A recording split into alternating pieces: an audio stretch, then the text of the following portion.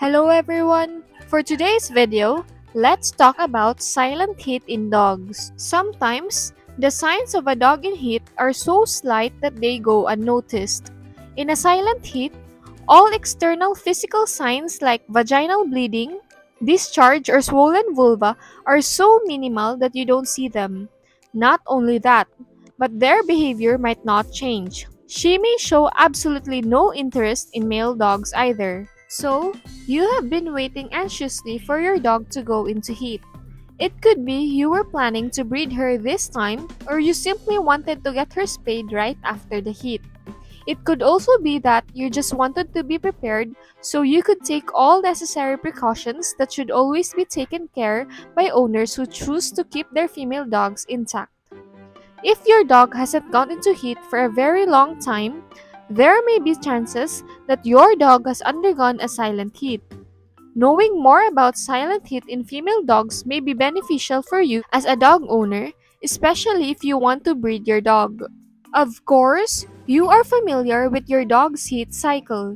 You know how often in general it happens and you know how to recognize the signs of proestrus. So, six months go by and nothing happens. As the seventh month flies by, you start scratching your head. What happened? Did you miss it? Is your dog's heat cycle going bonkers? Did she skip her heat or is it late? What would cause a silent heat? Veterinarians who specialize in reproductive health often meet owners who are just as puzzled as you. More often than not, the dog most likely went into heat, but the owner just didn't notice. You may say, but what about all the male dogs? Shouldn't they have been showing at least some interest?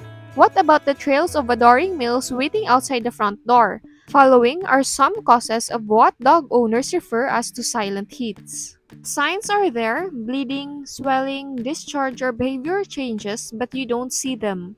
Yes, your dog may have simply given off little signs of going into heat you may not have caught. Don't take it personally, it happens. As mentioned, countless vets are contacted for the same problem. If you are not planning to breed, count your blessings. Many owners would prefer a silent heat so they did not have to deal with all the cleaning and cranky behaviors associated with it. But how could you have missed it? Some dogs are fastidiously clean and will readily lick off any signs of evidence, so the bloody discharge may have never made it to the floor. Other dogs simply don't bleed much at times. These dry heats are not abnormal. If you are planning to breed your dog, don't rely on the presence of blood alone. Silent heat versus missing heat. At times, what looks like a silent heat is actually a missing heat.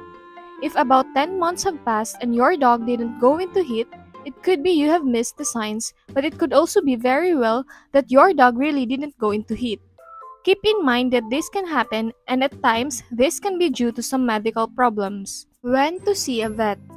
So, if your dog didn't go into heat and she's not a Basenji and doesn't seem to be planning to go into heat soon, then your next step is to have your dog seen by a vet. Have the vet rule out any medical problems. Your vet may then decide to check on your dog's progesterone levels to have some idea of what may be going on. If your dog did undergo a silent heat, her progesterone levels would still be high enough to prove that. Weekly cytology tests may provide an insight on the chances for an estrus cycle nearing or signs that nope, there's not going to be any future cycle in the near future.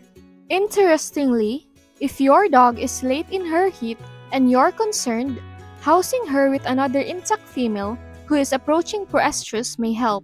There are many cases where a cycling dog may induce heat in another female dog living alongside. Thank you for watching. Don't forget to like, subscribe, and share our video.